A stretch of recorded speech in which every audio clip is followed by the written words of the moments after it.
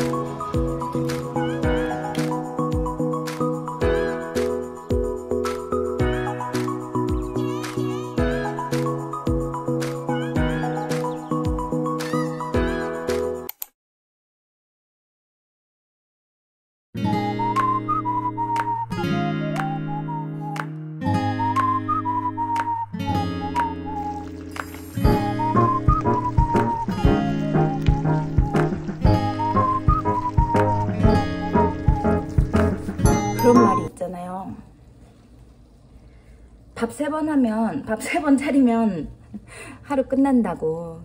제 얘기입니다. 제 얘기예요. 지금 시우 저녁 짜장면 했어요. 우동면으로. 짜장면, 짜, 짜장면용 면은 따로 있나? 원래 그 면용이 따로 있죠. 근데 뭐 여기서 한국 슈퍼에 여기 물건 진짜 다양하거든요.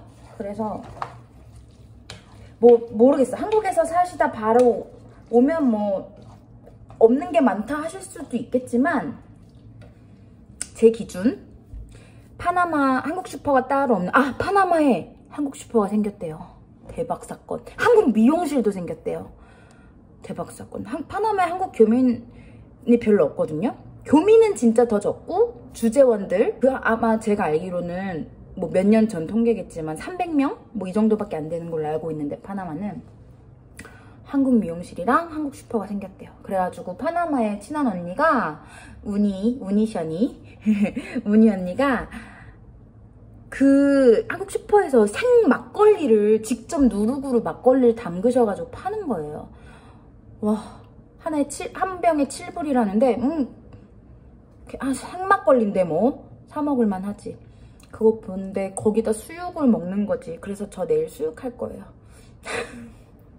뭐 얘기 흐름이 의식의 흐름대로 그냥 짓거리고 있어요.